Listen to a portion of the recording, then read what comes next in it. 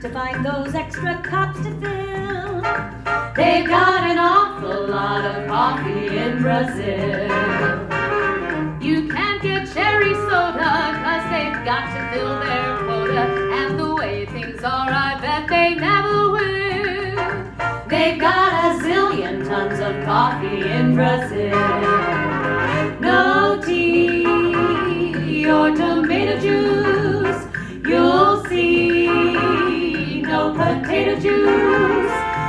The planters down in Santos all say no, no, no. A politician's daughter was accused of drinking water and was fined a great big $50 bill. They've got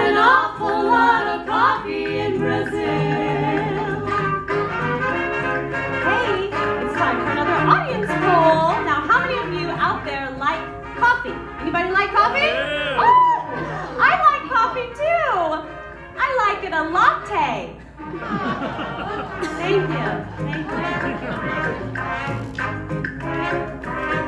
Way down among Brazilians, coffee beans grow by the billions, so they've got those extra cups to fill. They've got an awful lot of coffee in Brazil. In Brazil. Coffee ketchup gives some flavor. Coffee pickles way out Salvador.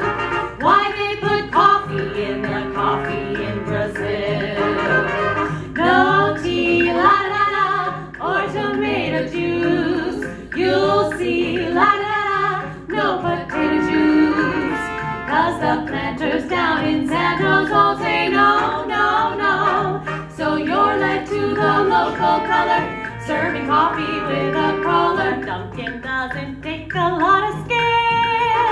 They got an awful lot of coffee in Brazil. They grow the coffee bean, which differs from the Boston bean, which differs from the Howyu bean, which is totally and completely different from the string, lima, and soy bean. They got an awful lot.